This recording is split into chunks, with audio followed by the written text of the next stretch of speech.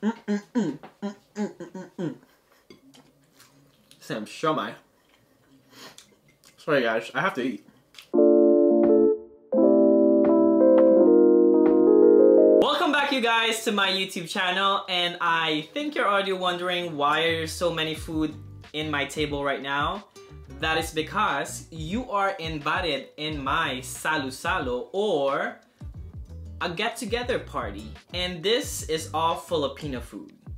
Every single Filipino food that is on my favorite list. And you, watching right now, you are invited. That one Filipino coworker you have, who's invited you to every single Filipino party, and this is one of them. So I'm introducing you guys to all Filipino food and at the same time, I will also be answering all of your questions that you have asked me on my Instagram stories. So you're gonna get to know me and at the same time, you're gonna have a mukbang slash get together with me. Let's do it. So first of all, I'm gonna let you guys know what are the names of this food and you might have already eaten it if you have a Filipino co-worker, but some of these uh, dishes you're very familiar with like pancit, lumpia, the rice of course, and here we have crispy pata. This is siomai, sisig, which is my top favorite Filipino food, just to let you know firsthand. Palabok. That is good. And while I'm on it, I'm gonna be answering some of your questions. How did you find your voice as a new grad? To be honest with you, it's really hard when you're starting in a floor because you know your anxiety, uh, the doubt you have in yourself, that imposter syndrome of you thinking like, am I really a good nurse? Always like takes you instead of you, you know, building your ability to have that confidence to work as a nurse. You have to remember that going through nursing school is so hard that if you make it to nursing school and get your license as a nurse, that is an accomplishment. And not only an accomplishment, but something you can tell yourself whenever you feel like, you know, doubting yourself or not having that voice to, I don't know, talk to residents, doctors, families, and tell yourself, like, I'm proud of me. I am able to do this. And just remember that. So, yeah.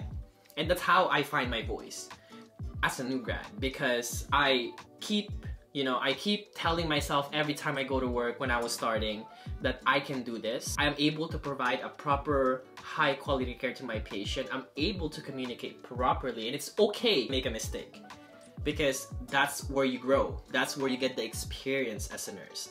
And the most important thing in nursing too as a new grad is that you have to build your confidence but you cannot have too much confidence because too much confidence leads to bigger mistakes and that's when big error happens. Like you have to be in between of like not having confidence and being overconfident. You know what i mean?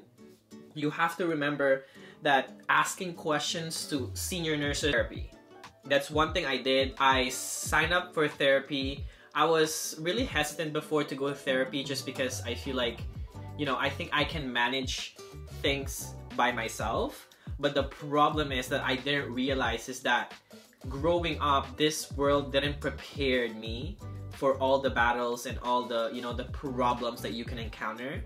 And a therapist is someone who can give you that tools for you to be able to not be in a shock state when you encounter something new or something different in your life. And through therapy i realized a lot of things and helped me get through things. So one thing i've been doing right now is also trying to read a book. I'm organizing my hours in a day for me to be able to do other things. If I don't push myself, it's just gonna stay the way it is and nothing's gonna change with my habits.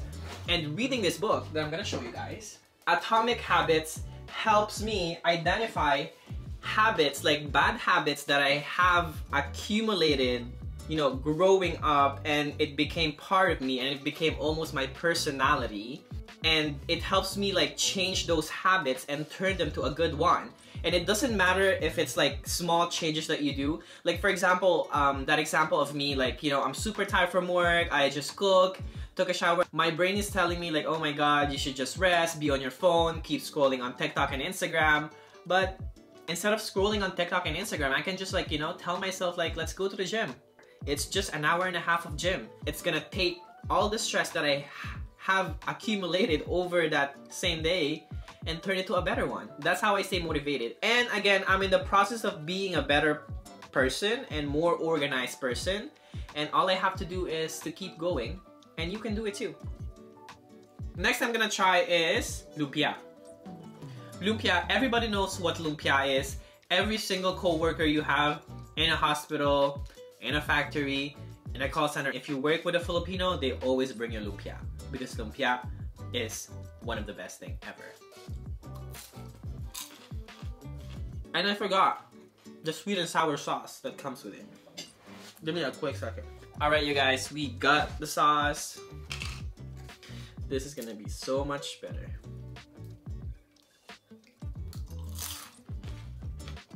Mmm. Mm mm mm. But the pancit is really good. Have you ever failed a subject in nursing school by 2 or 3%? How do you manage the depression? This is a very good question because I think a lot of us in nursing school have struggled with that. And I know the feeling of like failing by 2 or 3% on like an exam that you studied for for 2 or 3 weeks or you know you stayed up so many nights so late just to like be able to study all of this. And it sucks you know when all of the other people who who you know who who've studied for like a week and they get like 60 or 70 or 80 and you're like what the hell man? Like what did i do wrong? And yes i failed a subject i mean an exam in uh, nursing school and it was pharmacology and i studied for it for a month and i was so organized and prepared for it and I thought I know every single thing that I studied for, and then when the result came back, I got 58. Oh, 54. I got 54, and the passing grade was 55. I think that's the shittiest feeling that I've ever had when I've seen that, and all of my friends, they all passed. And I have this one friend who studied for five days before the exam, and they got 65. But what I've realized is it's just an exam. Or even it's just a subject you know? It, and it doesn't matter if you fail let's say a subject and you have to repeat a year just to retake that subject. Nursing school is not a race. It is competitive in nursing school. That is the truth about it.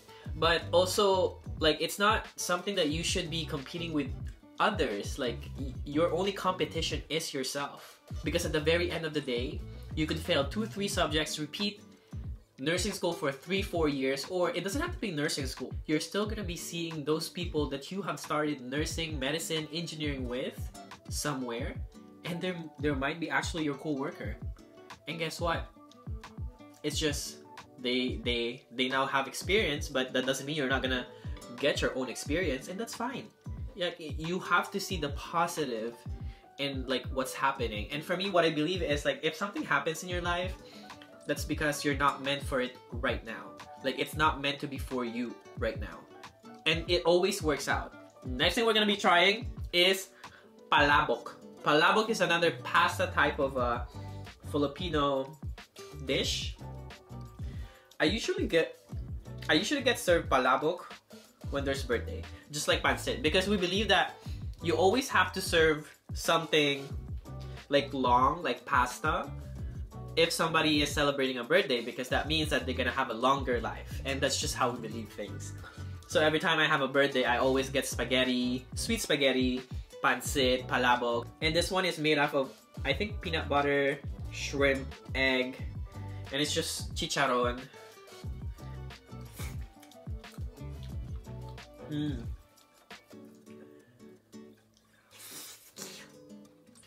And you guys might think like I'm not gonna be eating all of this food for sure. But don't worry, I have a whole family and friends that if I text them right away, right now, they would all be rushing to my place just to eat this food. Because Filipino food is elite. Next is we're gonna be trying embutido. It's made out of pork again and there's sausage inside and cheese. Mm -mm -mm.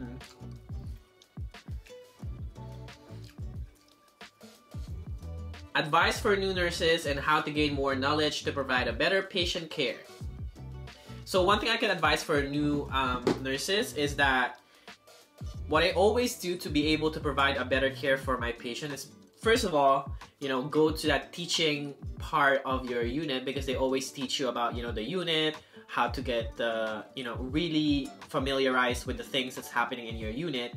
And at the same time, what I always, always do whenever I, before I enter to a patient's room, I always imagine that the person I'm to be taking care of is my grandma, my grandpa, or my mom. That's what I always do. Like, how would I want a nurse to take care of my family?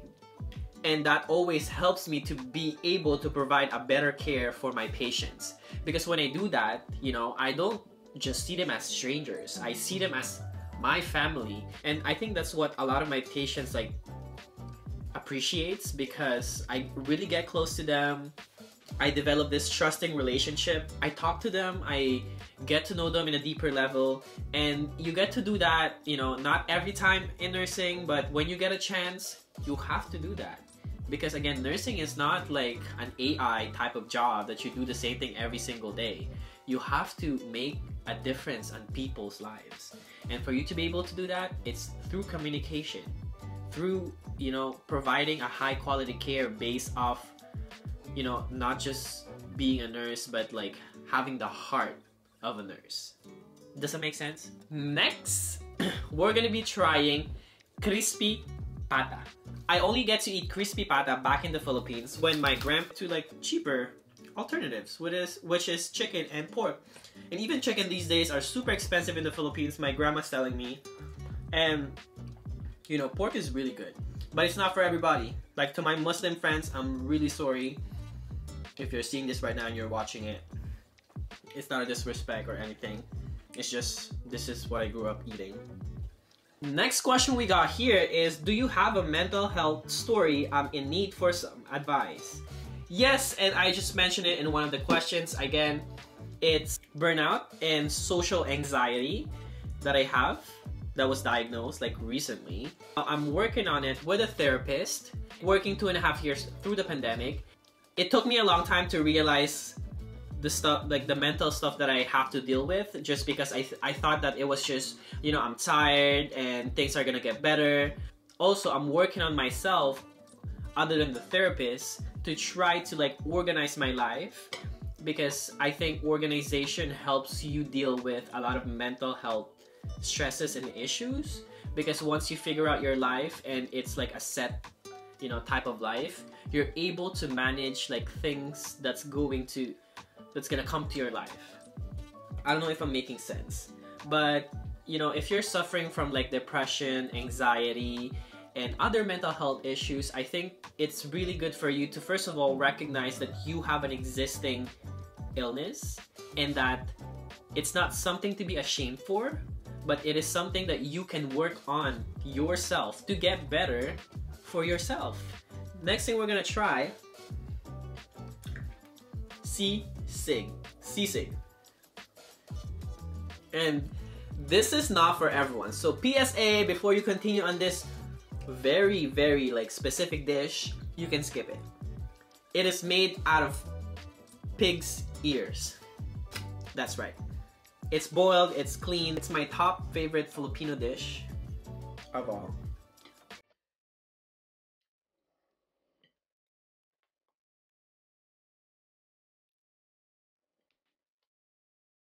What's the best advice you can give to a tired nursing student? Lots of love from Israel. Take some time off for yourself. Always remember that studying too much, which I did, and I'm telling you guys now this because I only realized it after. Before, I usually would study for an exam from 7 a.m. till 2 a.m.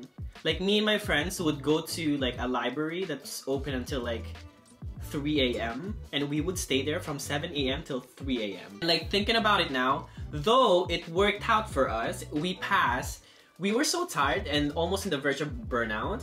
But even though we passed, I think it wasn't, it's not a good practice for nursing students to do that. You have to put a time in a day where you're just not doing anything. Like it could be you just like scrolling on your phone or like sitting down or taking a nap but I didn't do that when I was in nursing school because I was so stressed out that I'm gonna like fail my exam if I don't study enough. But sometimes like I would study for like three weeks from 7 to 3 a.m. And guess what?